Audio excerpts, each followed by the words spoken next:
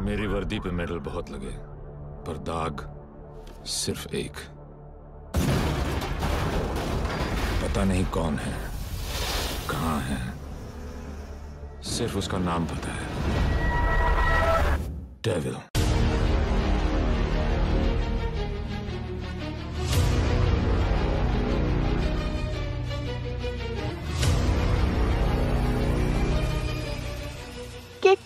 क्या 2014 में आई सलमान खान की फ़िल्म किक की सीक्वल की स्क्रिप्ट लिखी जा चुकी है? और क्या डायरेक्टर साजिद नाडियावाला फ़िल्म को इस साल ही रिलीज़ करेंगे?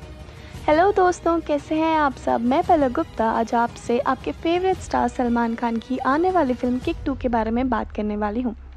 2014 में आई फ़िल्म किक ने बॉक्स ऑफ़िस पर ऐसी किक मारी कि सीधा 400 करोड़ की फ़िल्म ने, की सूची में शामिल हो गई। फ़िल्म की सफलता को देखते हुए डायरेक्टर ने इसके सीक्वल को बनाने के बारे में भी सोचा।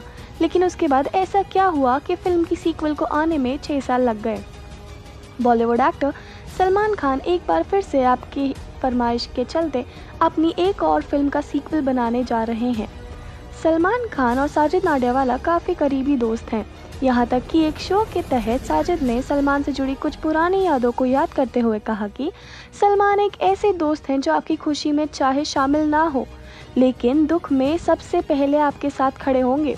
दोनों ने साथ में काफ़ी फ़िल्में की हैं जिसमें किक भी शामिल है और अब जल्दी नाडियावाला सलमान के साथ किक टू बनाने जा रहे हैं। बात करेंगे किक टू की कास्ट की फ़िल्म की ओरिजिनल कास्ट में, सिर्फ़ सलमान खान का नाम ही सामने आ रहा था। लेकिन अब एक और नाम इसमें जुड़ गया है। लेकिन वह किसका नाम है, यही सोच रहे हैं ना आप। पिछले दिनों डायरेक्टर साजिद नादियावाला की वाइफ वर्धा नादियावाला ने एक ट्वीट किया जिसमें फ़िल्म के बनने और फ़िल्म की हीरोइन का नाम ऐलान हुआ है। तो वह बॉलीवुड की, वह कौन सी हीरोइन है जो किक टू में सलमान के साथ किक लगाती दिख रही तो इस राज पर पर्दा हटाते हुए हम आपको बता दें कि जो किक टू में सलमान के साथ रोमांटिक गानों पर नाचते हुए दिखेंगी, वह कोई और नहीं किक वन की हीरोइन जैकलिन फर्नांडिस हैं। चौक गए ना? दरअसल लोगों को सलमान और जैकलिन की जोड़ी इतनी पसंद आई कि वह दोनों को एक साथ फिर से देखना चाहते हैं। और फ़िल्म में जैकलिन के होने की खबर वर्धा ने जाकी के बर्थडे पर ट्वीट करके सबको दे दी। जैकलिन ने भी ट्वीट करके सबको अपने फ़िल्म से जुड़ने की एक्साइटमेंट के बारे में बताया। तो यह तो पक्का है कि फ़िल्म में एक बार फिर से डेविल के कैरेक्टर में लौट रहे हैं, और उनका साथ देने जैकलिन भी फ़िल्म में होंगी। लेकिन फ़िल्म में और कौन कौन से एक्टर्स होंगे, फ़िल्म को तो देख के पता चलेगा। फ़िल्म में इस बार नवाजुद्दीन सिद्दीकी होंगे या नहीं, ये तो हमें पता नहीं। लेकिन इस बार विलन के रोल में कौन रहेगा, इसकी कोई खबर नहीं है। फ़िल्म में सलमान और जैकलिन के अलावा जो नाम काफ़ी समय से सुनने में आ रहा है, वो है एक्टर करण आनंद है। करण आनंद को सबसे पहले फ़िल्म गुंडे में देखे गया था, जिसमें उनके काम को काफ़ी सराहा गया था। फ़िल्म में करण विलेन के रोल में दिखेंगे। आनंद ने कई फ़िल्मों में डार्क रोल किया है और अब वह फ़िल्म किक टू में भी कुछ इसी अंदाज में दिखने वाले हैं। करण के अलावा फ़िल्म में एक इंटरनेशनल विलन भी होगा, जिसको फ़िल्म के सेकेंड पार्ट में दिखाया जाएगा। लेकिन वह कौन होगा, इसका खुलासा अभी तक नहीं हुआ है। फ़िल्म की कहानी की बात करें तो फ़िल्म एक नई ट्रेन की पटरी पर दौड़ेगी। इसमें कुछ नए और कुछ पुराने चेहरे होंगे। जहाँ एक तरफ़ देवी लाल देवी लाल की कहानी खत्म हो गई थी, वहीं एक और कहानी शुरू होगी। फ़िल्म की शूटिंग मुंबई के अलावा वर्जीनिया, अमेरिका में होगी।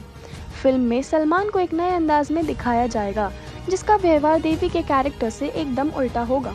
इसको ज़िंदगी में किक नहीं आराम चाहिए। वह भारत आने का प्लान बनाता है जहाँ मुंबई में उसके परिवार की ज़मीन होती है। लेकिन ज़मीन पर फ़िल्म का विलन करण आनंद अवैध तरीके से पहले से ही कब्जा कर चुका होता है। वहीं उसकी मुलाकात जैकी से होती है जो फ़िल्म में एक राइटर का रोल में होंगी। और सलमान के प्यार में भी अपने परिवार की ज़मीन को वापस पाने के लिए देवी करण से लड़ता है और काफ़ी मारामारी के बाद अपनी ज़मीन वापस ले लेता है। और वर्जीनिया वापस जा रहा होता है सलमान, लेकिन तभी उसको जैकलिन से मोहब्बत का एहसास होता है। जब वह जैकलिन के घर उसको अपने दिल की बात बताने जाता है, तब वहाँ कोई नहीं होता है। तो कहाँ गई जैकलिन?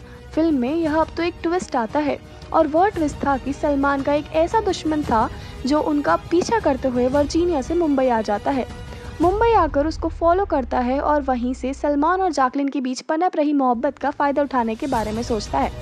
जब सलमान करण से अपनी ज़मीन के चक्कर में लड़ रहे होते हैं, तब वह जैकलिन को किडनैप करके उसको एक दूर गाँव में ले जाता है। अब सलमान को अपनी मोहब्बत जैकलीन को बचाने के लिए किस इंटरनेशनल विलन से उलझना पड़ेगा? जहाँ देवी एक आराम की ज़िंदगी चाह रहा होता है, वहीं किस्मत ने उन्हें एक अलग ही राह चुनी होती है। और देवी को डेविल बनने का अवतार फिर से लेना पड़ता है। तो क्या डेविल अपने प्यार को बचा पाएगा? और क्या करण अपनी हार का कड़वा घूट पी पाएगा? ये तो हमें मूवी देखकर ही पता चलेगा और क्या क्या ट्विस्ट आते हैं, वो तो आप हमें कमेंट सेक्शन में बताइए। अगर आपको ये वीडियो पसंद आई हो तो इसे लाइक करें शेयर करें और हमारे चैनल को सब्सक्राइब करें। इस वीडियो की स्क्रिप्ट सिमरन रावत ने लिखी है। मैं आपसे फिर मिलूँगी एक नई कहानी के साथ। तब तक अपना ध्यान रखें।